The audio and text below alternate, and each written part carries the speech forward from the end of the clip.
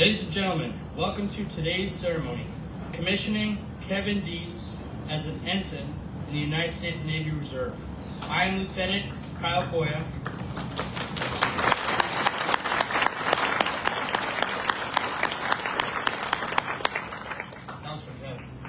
Direct Commission Officer Recruiter Navy Reserve Talent Acquisition Group Northeast, Site Pittsburgh. And I will be serving as Master of Ceremony this afternoon. At this time, please rise as you are able for arrival of the official party and remain standing for the singing of the Star Spangled Banner by the Buffalo Gay Men's Chorus under the direction of Dr. Robert Strauss and the invocation by Father Vincent.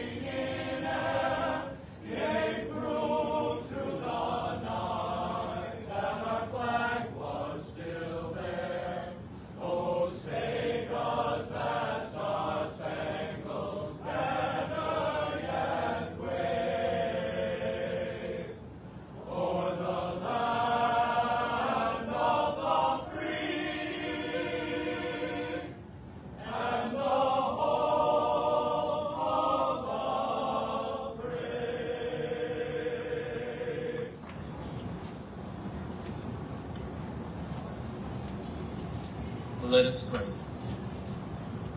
Almighty and all powerful God, we thank you for this pleasant afternoon that we can stand before you with Kevin Deese on a special and memorable day, in a very special way with his family and friends. At this time, we invoke your divine presence upon to be commissioned Kevin Deese as an ensign in the United States Navy Reserve, and also upon all those who are gathered here in person and in thoughts. We ask that you accompany Kevin Deese and all of us throughout this commissioning ceremony, where we have sincerely gathered to honor and respect the hard work and dedication, the authenticity and integrity, the sacrifice and love of Deese for our nation's Navy. We ask that you continue to inspire him today and every day. Lord, we ask that you open our hearts and minds to cherish this joyful commissioning celebration and be inspired by Kevin Deese' life and faith. Lord, we ask you that for Kevin, not only this ceremony is a clear sign of excellence, but also shall be the beginning of great adventure and excellence. We ask this in Jesus' name. Amen.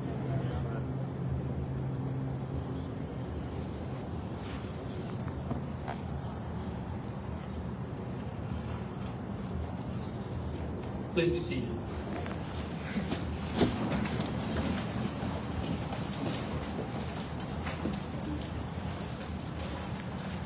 So Mr. Deese has uh, kindly asked for me to be your master of ceremony today and to deliver some uh, opening remarks. Uh, so here goes nothing. It is with honor, excitement, and gratitude that Ensign Select Deese has asked me to be the MC for today's historically significant event. It seems like it was close to a year ago now. I received a call from Chief Sabrino, soon to be a retired Chief Sabrino. Chief called me saying, Hey LT, I have a special referral for you. I sighed. I said, special is usually code for someone trying to sweep their way into the Navy Reserve wardroom by calling in favors or shopping for recruiters. Needless to say, I typically dread those kind of calls and referrals, knowing it's probably not going to pan out.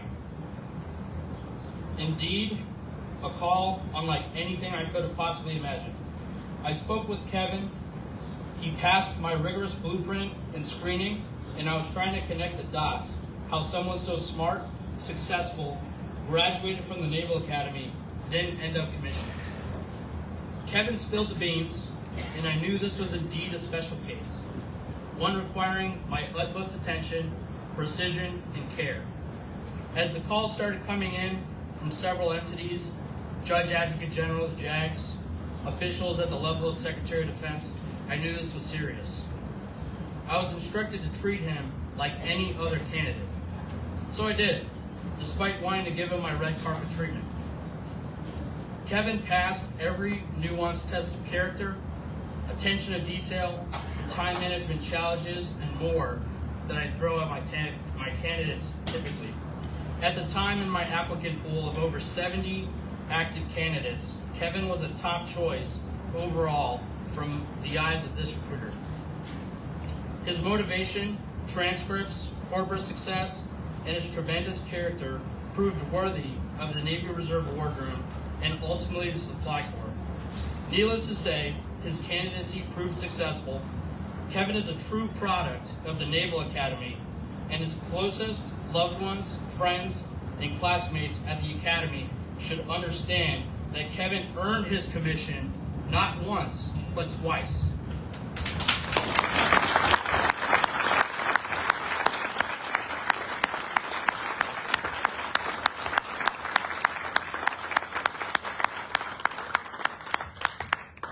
I am excited to follow Kevin on his journey. I am grateful for Chief Sabrino for taking Kevin through the MEPS process and seeing it through, and to everyone in the crowd and beyond for shaping Kevin into the officer who will appear before you today. Let the show go on. Retired U.S. Navy Vice Admiral Kevin Green, sir, you're invited to the stage to deliver your keynote remarks.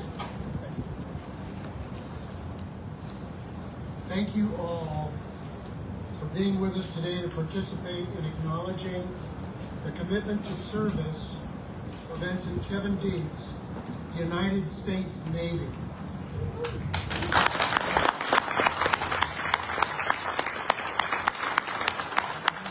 I have enormous personal regard and respect for the Naval Reserve.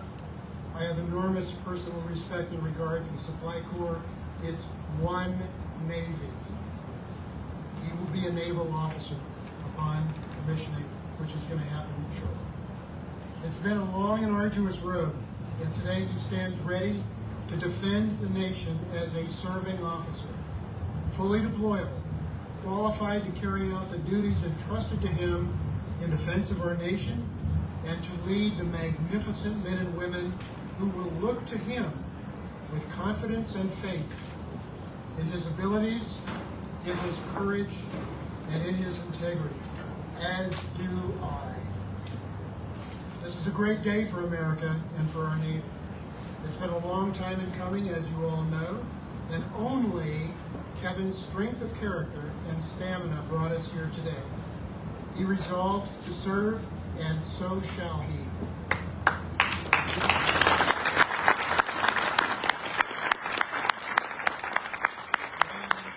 I am personally humbled by his demonstration of devotion to duty, and I'm very proud to be here today to be part of this. So he's joining the Navy again. What does the Navy do today? Four big things. Strategic deterrence, deterring strategic attack against our homeland and our allies and our interests around the world.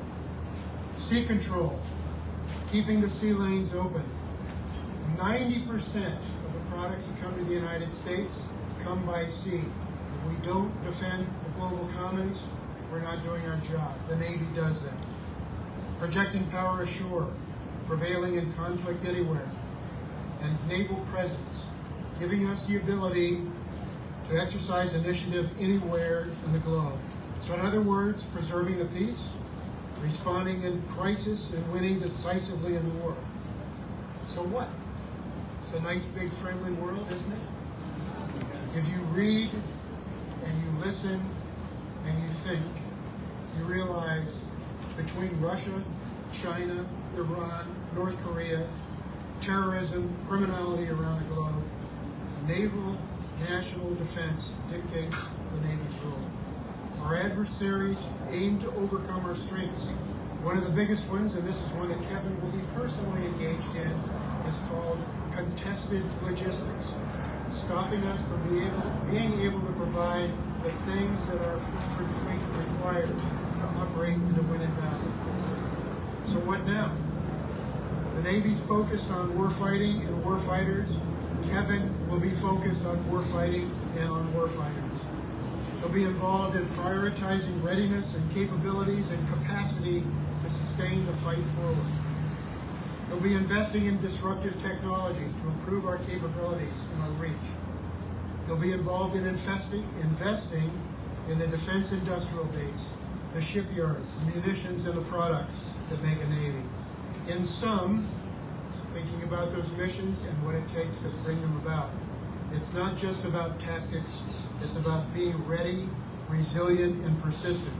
And logistics are extremely important and immersed in all of this. And that's where Kevin's going to make his mark. In helping ensure that our fleet, our sailors, and our partner warfighters have what they need to carry out those missions. He will help run the Navy's business as a business. And I know he'll be brilliant at it. Let's start briefly with his oath of office, which he's going to go through in a minute, administered by his older brother. The core of it is simply this. He's going to swear that he will support and defend the Constitution of the United States against all enemies, foreign and domestic. There's a lot more to it. You'll hear it in a few minutes.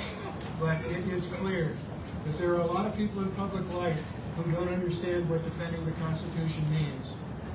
This man, this officer does. And I look forward to watching him do it. What's it all mean? You put all this stuff together, the expectations we have on him.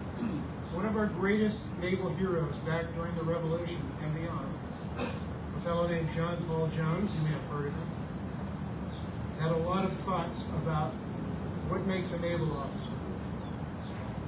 A lot's been written about that. What he said in a nutshell is simply this. It is by no means enough that officers of the Navy should be capable mariners.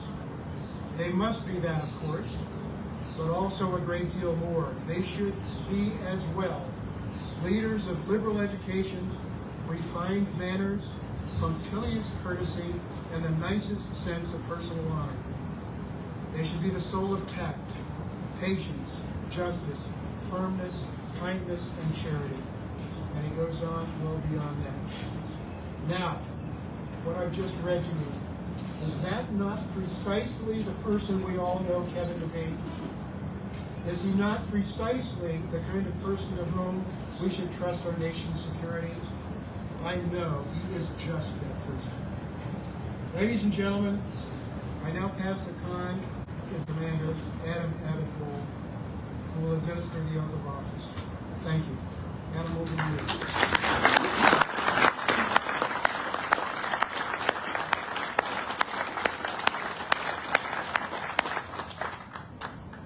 For audience members who are not uniformed military personnel, please remain seated for the oath of office.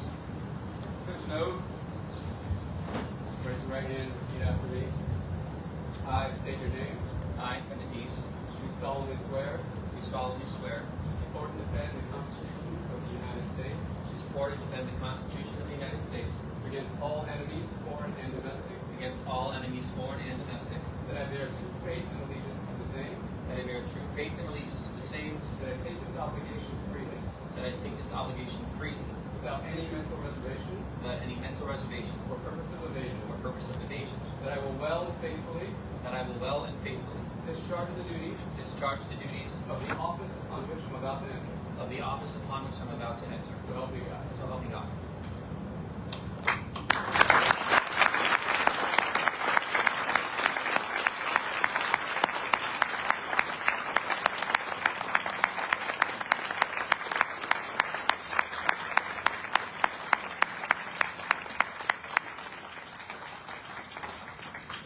The ensign shoulder boards will now be affixed by parents Bob and Sue Deese. The pinning of rank is traditionally performed by the people most responsible for supporting the new officer in their journey to arrive at commissioning.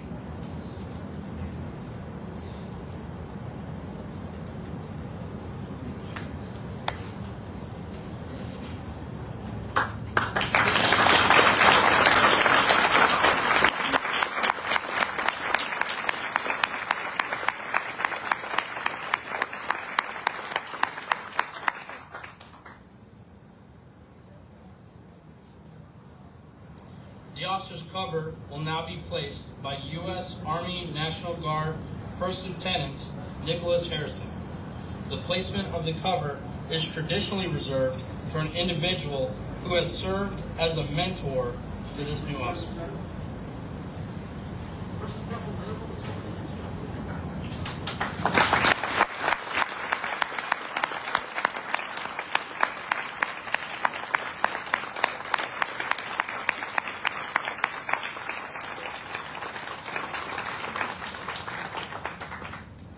Chief Sabrino.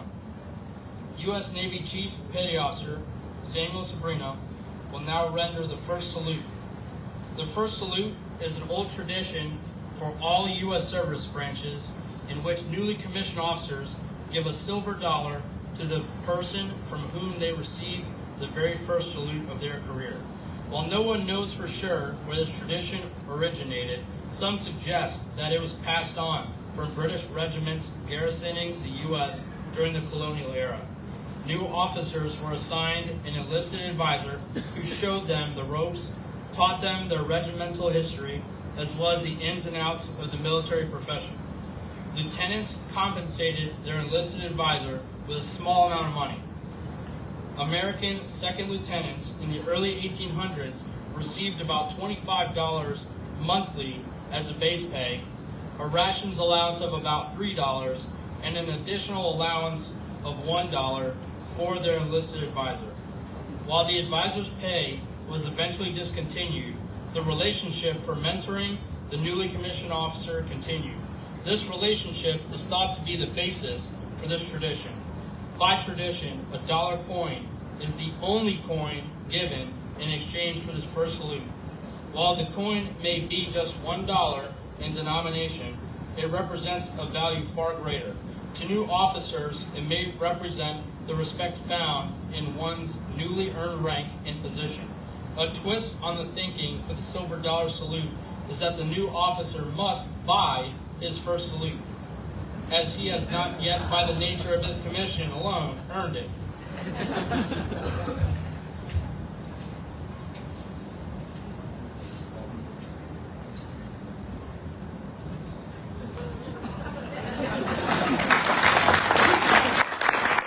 Ladies and gentlemen, I am proud to present the United States Navy Reserve's newest commissioned officer, Ensign Kevin Deese.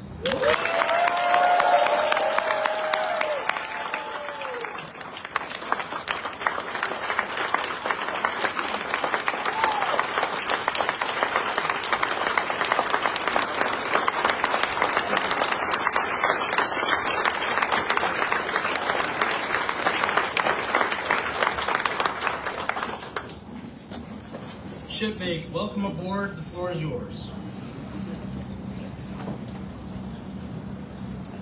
Wow, what a day. I can't thank you all enough for, for being here with us, whether you travel from Florida or Minnesota or Maryland or Washington, D.C. or Virginia or New England or the West Coast or right here uh, from the city of good neighbors.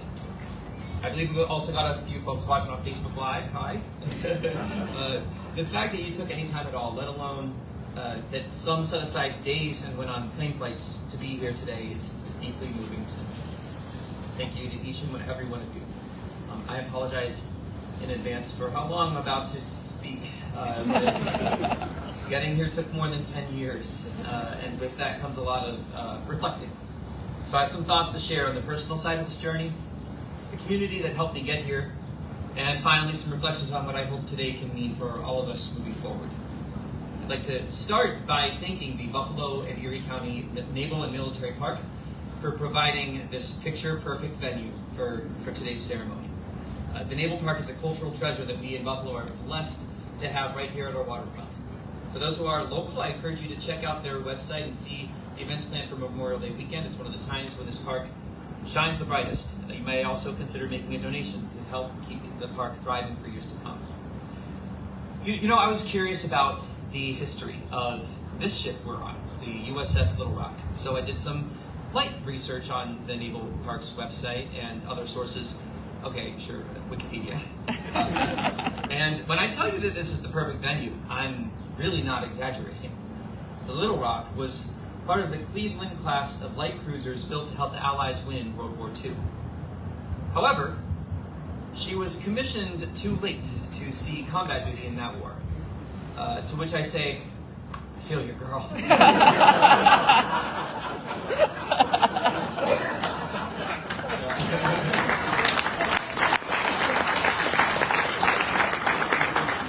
More on my good friend Lil Rock later. Uh, I have to admit, I'm a bit- self conscious about the scale of today's celebration. Most commissioning ceremonies of this nature, from civilian to reserve officer, tend to be intimate affairs without such fanfare and hoopla. I can't help but think of a line from my favorite movie, Steel Magnolias An ounce of pretension is worth a pound of manure. and that was for those wondering who were wondering whether this ceremony could get any gayer. Always be gayer. But on the other hand, when something takes more than 10 years to make happen, uh, you know that one person could not have done it alone. And indeed, it has taken a village to get here. So it felt important to me to have a ceremony that did its best to honor that journey in that village. And as I have been reminded many times, today is about more than just me. Uh, more uni- universally, it's about the triumph of perseverance, dedication to service, and equal treatment of all. I want to come back to this broader story and what I hope we can all take away from today, but I'd like to first reflect on the personal journey and broaden out from there.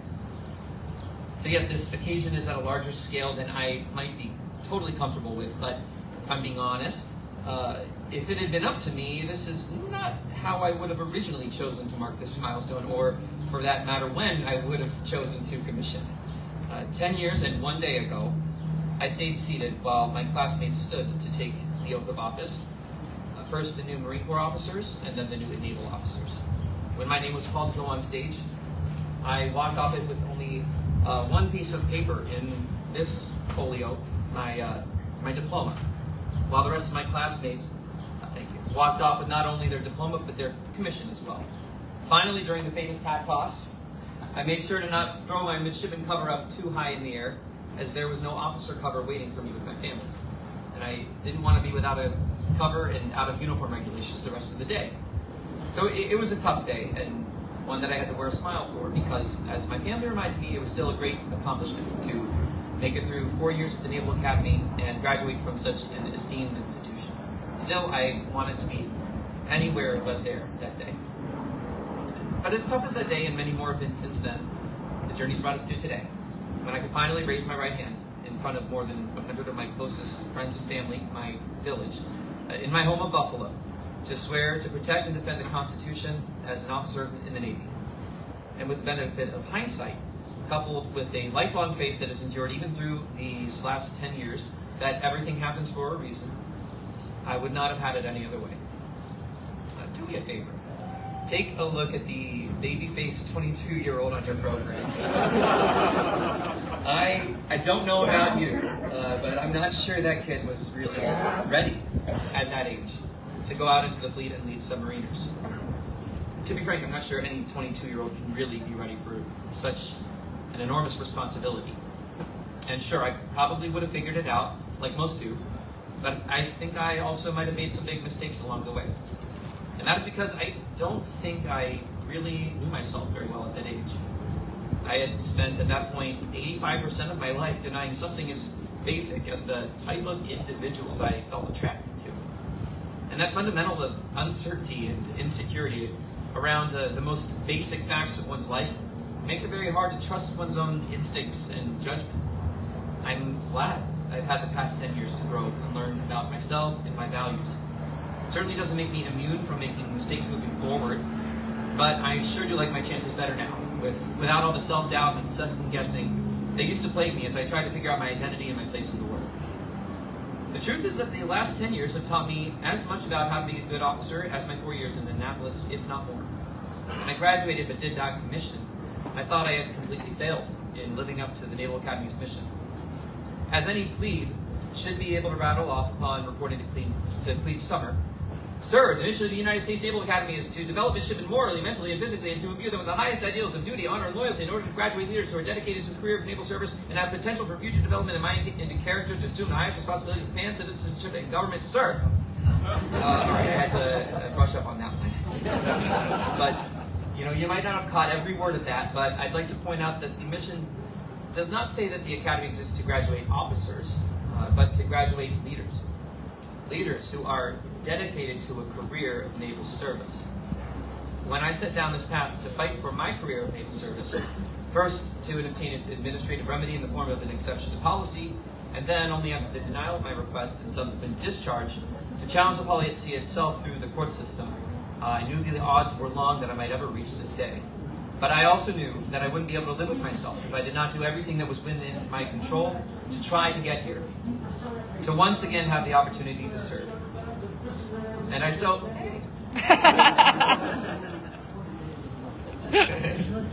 and I so desperately still wanted to be of service in the way that I had first raised my hand for 14 years ago. But at the end of the day, I could live with defeat if that was what awaited at the end of the road. What I knew I couldn't live with was the regret of not trying. It was in the trying that I knew that no matter what, I could stand tall and proud in the knowledge that I had stayed true to the Naval Academy's mission to graduate in me, a leader who is dedicated to a career of naval service. But, spoiler alert, defeat is not what awaited at the end of the road. In 2022's ruling in Harrison v. Austin, Judge Leonie Brinkema ruled that the Department of Defense's, quote, policies prohibiting the commissioning and retention of HIV positive service members who are asymptomatic and have undetectable viral loads are irrational as well as arbitrary and capricious, end quote. Within three months, the Pentagon updated the policy specific to Service Academy cadets and midshipmen, meaning future cadets and midshipmen who found themselves with my same diagnosis would not be barred from commissioning. And two years later, we are here today victorious.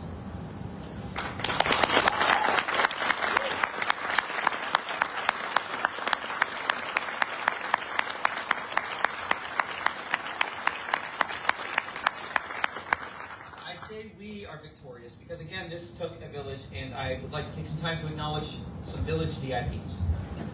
I have to start with my parents, Bob and Sue. You, you have been by my side not just the past 10 years, but the past 32 years. Uh, you were you were ready to fight the Pentagon before I was. I practically had to hold y'all back. And uh, you've consistently done your best to keep me focused on the important things. So happy that you finally had the chance to get the re- recognition you deserve. Uh, stop crying, you guys. uh, through pinning on my rank. I want to thank the rest of my family as well, especially my original role model, Adam, and my original bestie, Kelsey. Uh, you guys have also been there uh, for me through the highs and lows. Adam, 14 years after you administered the oath to me as a scared little plebe, uh, it means the world to me that we can finally come full circle today. My aunts and cousins who've made it here, uh, thank you for your love and support through the years too. And Sydney, Sebastian, and Nixon, I'm so glad you could be here, and I love you very much. I, I want to thank my fellow plaintiffs in these cases that have created such change in the way the military treats service members living with HIV. First Lieutenant Nick Harrison, you're the real OG, as I tell anyone and everyone who will listen.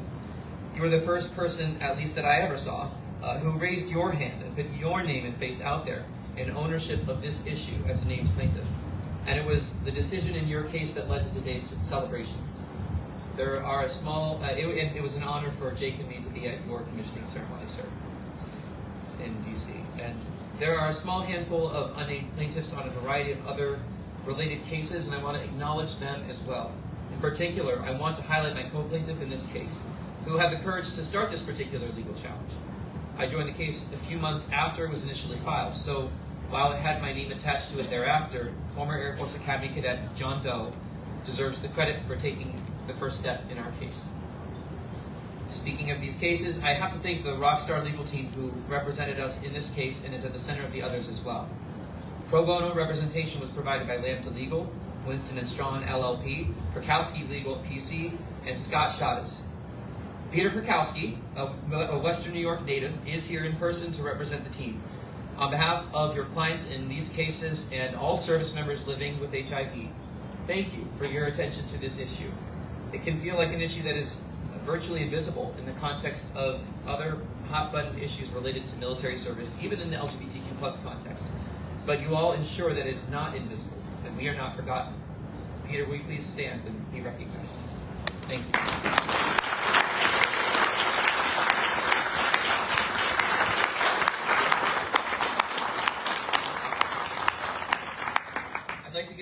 You to my work chain of command at M&T Bank.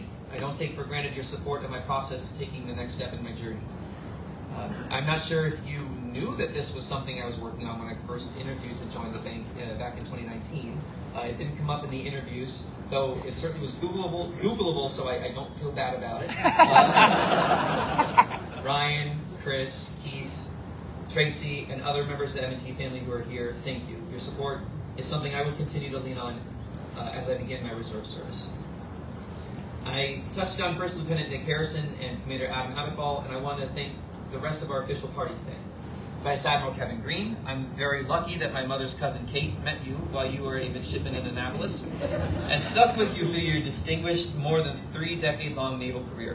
You've been a source of wisdom, support, and encouragement as I have turned to you over the years for advice in this journey. Thank you.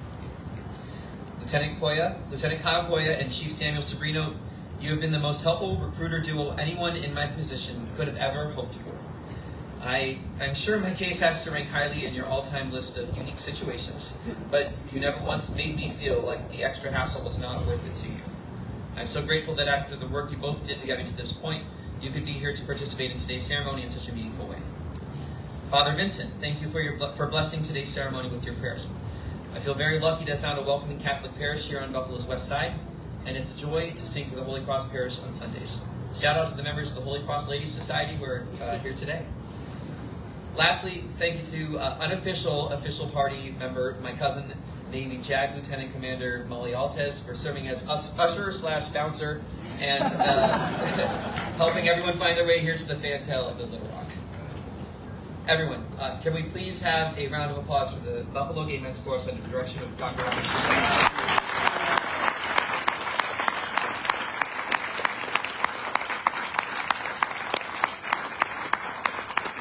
I first joined an LGBTQ plus chorus while in grad school in Minnesota, and it was with the Twin Cities Gay Men's Chorus that I first felt confident and safe enough to come out in a somewhat public way about my HIV status in 2018.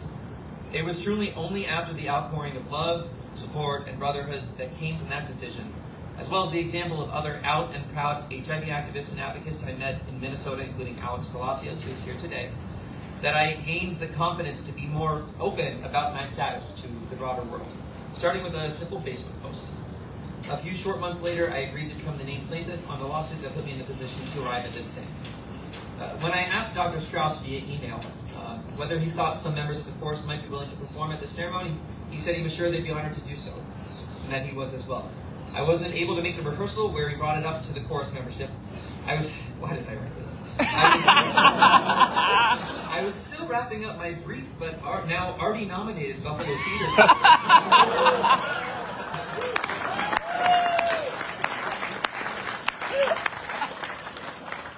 but he let me know that the idea was received warmly. Weeks later, when I was able to speak to the rest of the course about the journey to this point and ask for confirmation on who might be able to make it to Canal Side at 3 o'clock p.m. Friday, Memorial Day weekend, I was moved to tears to see uh, almost every single member stand up. Ladies, gentlemen, and friends beyond binary, this group is the very embodiment of love, support, and brotherhood. And my, my life is just one of thousands that have been deeply touched, enhanced, and even saved by the BGMC and groups like it around the world. The BGMC is a pillar of our Buffalo LGBTQ community, and I'm proud to sing with them.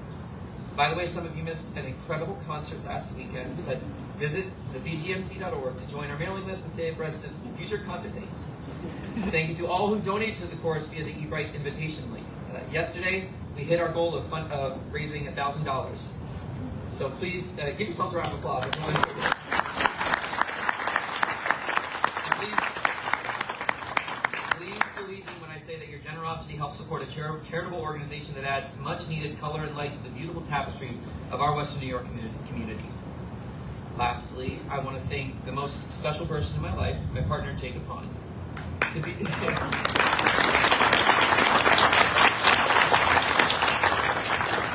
to be fair, Jake, I told you about this Navy business on our first date two years ago. Uh, but still, I acknowledge that I am a very difficult person to share a life with. Uh, and I'm sorry for all the stress that my schedule packing tendencies uh, can induce in our lives. You've become my rock during the times when I worry I've bit off more than I can chew, especially in the last few months as I've been preparing for this next chapter, and you shor- shoulder much of that burden, as well as help think through the times when perhaps I don't need to say yes to a, a new thing. I will always strive to make the extra effort worth it to you. I thank God that you and Henry came into Sailor in my life. And yes, I have a puggle, a rescue puggle named Sailor. I did not name him. He was already, he already had that name. Uh, I swear to God. but I'm so lucky that you came into our lives and became not just my boyfriend, but my best friend. I'm thankful also that you brought Laura and Gary into my life and that they're just a 20 minute drive away when either of us needs a taste of home. Happy birthday to Gary, by the way. Sorry for upstaging you. it took it took all these individuals and so many more of you present today and with us in spirit to make this happen. Thank you to each of you who took time out of your day to make the ceremony a true celebration of the power of community. All right, I know. I'm sorry. This is so. Uh, I, I want to speak finally to what I hope this occasion can teach all of us. For starters, I'd be remiss not to take the opportunity to educate folks on HIV and, and the military. There are a lot of directions I could go here, but I'll emphasize two points. First, undetectable equals untransmittable, or U equals U. When someone living with HIV is adherent to their antiretroviral treatment, the virus doesn't completely go away, but it becomes suppressed in the bloodstream uh, to the point where it cannot be transmitted to others uh, through otherwise common transmission pathways such as sex. This is why it is not just possible, but standard at this point, to have couples like Jake and me, where one partner is negative and the other is positive, and it stays that way. Second, there is an extremely common phrase associated with HIV that I would invite us all to consider leaving behind in 2024. That phrase is HIV is not a death sentence. I know I heard this well intentioned phrase uh, when I was told my diagnosis by the Commandant of Midshipmen uh, on April 1st, 2014, and it was little to no comfort to me then. The fact is that while for the first two decades of this epidemic, it certainly seemed about as close to a death sentence as one could get, and while it continues to be a serious disease that, let's face it, one would rather not contract, uh, in the United States, assuming access to affordable health insurance, it is completely manageable. And the primary difficulty in living with HIV lies in the stigma that continues to surround the virus. A stigma which, let's face it, the comparison to a death sentence does little to abate. So, if you are ever faced with a situation where you may be tempted to say, well, you know, HIV is not a death sentence anymore, I hope you'll instead say something like, HIV has no bearing on someone's worth as a human. Or, HIV won't stop you from finding love. Or, HIV can't stop you from achieving your dreams, even if your dreams include serving as an officer in the Navy.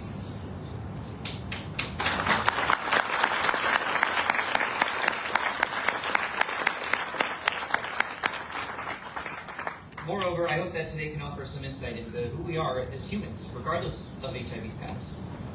Over the course of the public phase of this push for policy change and the chance to serve over the last six years, there have been a few times when people have expressed admiration for my choice to fight, including Naval Academy classmates of mine, as if they know that they themselves would not have made the same exact choices eh, had they been in my situation, of having first made an oath to serve in this way, gone through four years of training at a place whose mission is to graduate leaders who are dedicated to it, say with me, dedicated to a career of naval service, and then been told that they were no longer qualified to serve when they knew damn well they were fully qualified.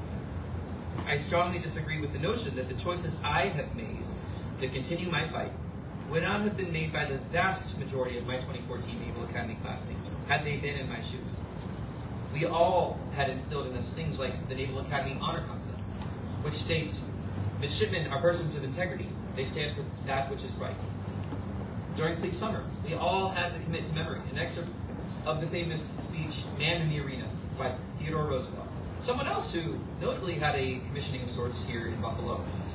Uh, the credit belongs to the man who is actually in the arena, whose face is marred by dust and sweat and blood, who strives valiantly, who errs, who comes short again and again because there is no effort without error and shortcoming. We all learned the story of 2004 Naval Academy graduate Travis Manion, a Marine killed in action in 2007 during Operation Iraqi Freedom, whose mantra, if not me, then who? has been a guiding light during tough decisions for many of us. All of my classmates have strived to live up to the standard of the Naval Academy and the Navy and Marine Corps, and the vast majority of them have risked far more than I am doing so. So, what I take away from this is something I believe to be a funda- fundamental truth, which is that we all don't give ourselves nearly enough credit for how brave and generous we naturally are as humans. Think about the links that each of you have gone in your lives to care for the people you love or to defend them. I believe most of us crave ways to positively impact the world around us and be of service to others. That may not look like military service to many or most people, but it, it manifests itself in taking care of our families, volunteering in our communities, engaging in local politics, simply being one good neighbor in a city of good neighbors. The way we view others can often be a reflection of how we view ourselves. So, if you look at my story and think it is uplifting or inspirational, I ask that you look inward at all the ways you, in turn, uplift and inspire those around you every day. The power to positively impact the world around us is in each of us. And I believe that almost to a person, one of our deepest desires as humans is to lean into that potential and make a difference. Well, I think I've been speaking now for an additional 10 years, so I will go ahead and wrap up before I hit 20 and I'm eligible for retirement. Um, I started this speech with the quirky late commissioning coincidence uh, between me and this ship, the USS Little Rock, and I'm going to end it with a few more coincidences. I told you that the, the Little Rock was commissioned on June 17, 1945, too late to make an impact in World War II. For the next four years, she conducted mostly training operations, but was retired and became part of the Atlantic Reserve Fleet in 1949. Later, she was converted to a Galveston class guided missile cruiser, see the missiles, and recommissioned in 1960 to serve in the Mediterranean as the Sixth Fleet flagship. Today, she is the last surviving ship from that original Cleveland class of light cruisers. Like me, the Little Rock was originally designated for one purpose, went through four years of training and experienced a bit of a failure to launch, and then took a decade to think through her life and how she might yet answer the call to serve. And she ended up serving as a flagship, no less. Her story of resilience, adaptability, and commitment to service is one that I will take with me as I begin this new chapter. I will do my best to follow her lead, bring every last drop of positive impact out of this second chance of service, and be an example for others of the transformative power of service to a cause greater than oneself. And I know I will not be alone in this, because this village will be with me just as you have been all along. So thank you for making this day so special, and I'm sorry for the long speech.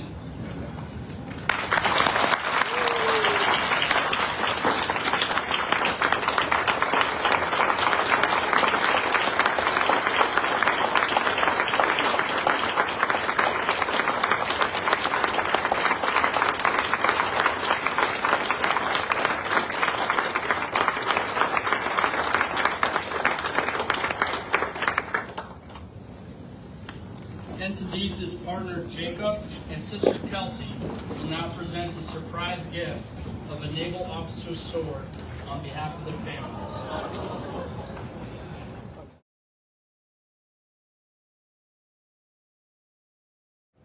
Please rise as you are able for the benediction by Father Vincent and remain standing for the singing of Anchors Aweigh by the Buffalo Gay Men's Chorus under the direction of Dr. Robert Strauss and the departure official party.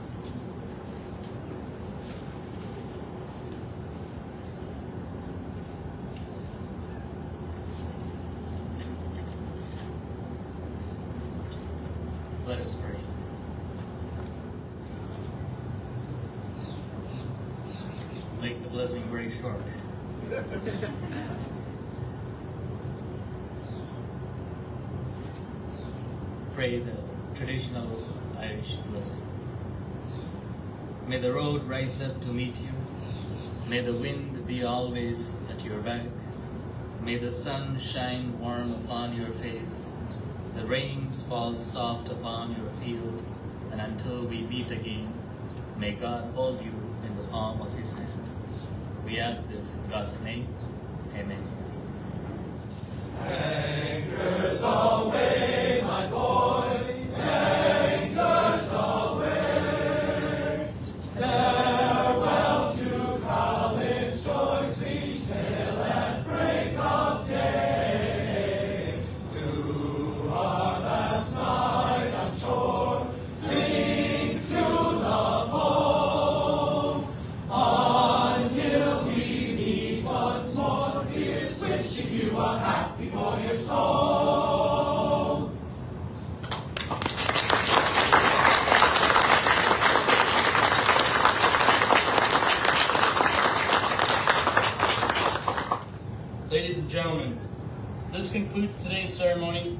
Staff will now clear the chairs from the deck. Please stay for a reception with and refreshments provided by the Buffalo Catering Company.